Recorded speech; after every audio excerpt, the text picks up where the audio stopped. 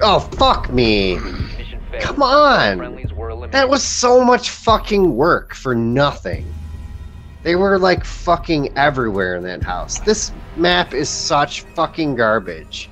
Nobody will ever build a house like this. Such fucking fuck this shit.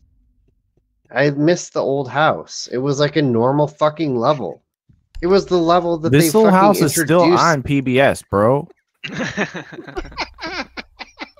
It's like the the level that they introduced this game to the world with, like in the this shitty trailer where they had the people talking to each other like they were actually playing the game.